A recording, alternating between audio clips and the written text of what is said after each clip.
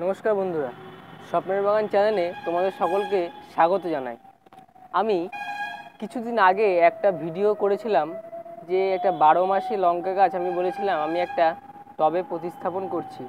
আমি গাছটাকে একটা বড় সাইজের পলিব্যাগের মধ্যে প্রতিস্থাপন করেছিলাম বেশ কিছুদিন আগে। তখন তোম- তোমরা গাছের উপরের দিকে বেশ কিছু লঙ্কা দেখেছিলে, এই যে সেই লঙ্কাগুলো। এখন এই লঙ্কাগুলো সম্পূর্ণ পেকে গেছে, তাই এগুলোকে তুলে নিতে হবে। তাই আজকের ভিডিওতে আমি কী করে লঙ্কা সংগ্রহ করব সেটা তো দেখাবো, আর পরবর্তীতে এই গাছে সারা বছর প্রচুর ফলন পাওয়ার জন্য কিছু টিপস তোমাদের সাথে শেয়ার করব। তো এই ক্ষেত্রে বলে রাখি, এই লঙ্কাগুলো তোলার সময় তোমাদের লঙ্কাগুলোকে খুব সাবধানে তুলতে হবে। কারণ লঙ্কা গাছের কাণ্ড খুব নরম হয়।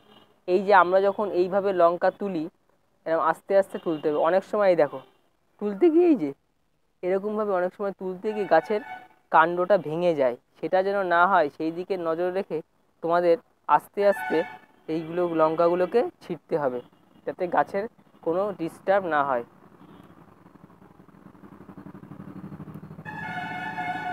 তোমরা এক্ষেত্রে ছোট কাইচি বা কাটারিও ইউজ করতে পারো তোমাদের এই লঙ্কাগুলোকে গাছ থেকে ছেঁড়ার জন্য। যত গাছ থেকে লঙ্কা তুলে ফাঁকা করে দেবে, তত বেশি ফলন গাছে হবে। এই জন্যে সবসময় লঙ্কা গাছে যখনই লঙ্কা পেকে যাবে, কাঁচা, পাকা, যে কোনো ধরনের লঙ্কা তোমরা চাইলে তোমাদের প্রয়োজন অনুযায়ী তুলতে পারো। দেখো, গাছগুলোতে কত সুন্দর লঙ্কা হয়েছে। এবার এই গাছ গাছের প্রসঙ্গে আসি।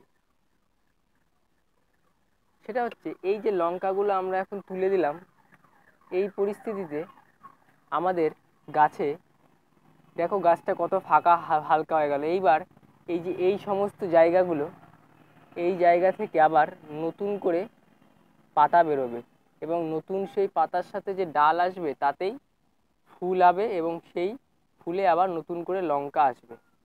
আমি যখন গাছটা প্রতিস্থাপন করেছিলাম, গাছটা কিন্তু এতটা ঝাঁকড়া ছিল না। আমি পুরো গাছটা একবার দেখাচ্ছি নিচের থেকে। এই যে গাছটা হচ্ছে এই কন্ডিশন এই যে গাছের গোড়াটা তোমরা দেখতে পাচ্ছ, বৃষ্টির কারণে বেশ ভিজে আছে। তাই আমি আপাতত জল দিচ্ছি না। তোমাদেরও বলে রাখি, যদি তোমাদের গাছের পাতা এরকম গাছের গোড়াটা ভিজে থাকে, সেক্ষেত্রে জল না দেওয়াটাই বেটার কারণ এক্ষেত্রে জল দিলে শিকড় পচে যেতে পারে। তাই জন্যে বেশি জল দেওয়ার কোনো প্রয়োজন নেই। যখন গাছের গোড়া ভিজে থাকবে, তখন জল দেওয়ার প্রয়োজন নেই। শুকনো হলে জল দেবে। আর আমি আপাতত যেই কোনো সারই ব্যবহার করছি না, যেহেতু গোবর সার মিশ্রিত এবং মাটিতে আমি এটা বসিয়েছি, তাই আমি আপাতত কোনো সার দিচ্ছি না। কারণ এখন গাছটা খুব সতেজ। গাছের পাতা, গাছের চেহারা দেখে বোঝা যাচ্ছে। এই গাছটাতে কিন্তু আমাদের সেই পাতা কুকড়ে যাওয়া রোগটা লাগেনি। অর্থাৎ এই গাছে কিন্তু পোকা এখনও আক্রমণ করেনি। যদি আক্রমণ তো অবশ্যই করবে। আক্রমণ করলে আবার আমরা আগের ভিডিওটার মতো ওরকমভাবে ট্রিটমেন্ট করব যাতে পাতার রোগগুলো চলে যায়। আর লঙ্কা গাছের সবসময়, লঙ্কা তোলার সময় সাবধানে তুলতে হবে বেশি। অনেক সময় জোরে তুলতে গিয়ে লঙ্কার যে শাখা কাণ্ডগুলো মানে ভেঙে যায়, কারণ এগুলো খুব নরম হয়ে থাকে। আর গাছটাতে যদি পোকা লাগে, সেক্ষেত্রে আমি পরবর্তীতে আবার আপডেট দেব। আমার এই আপডেট ভিডিওগুলোতে সমস্ত গাছের প্রতি মানে আপডেট আমি দেখাবো এবং তাদের যথার্থ কেয়ার সম্পর্কিত আলোচনা করব। ধন্যবাদ আজকের ভিডিওটা দেখার জন্য।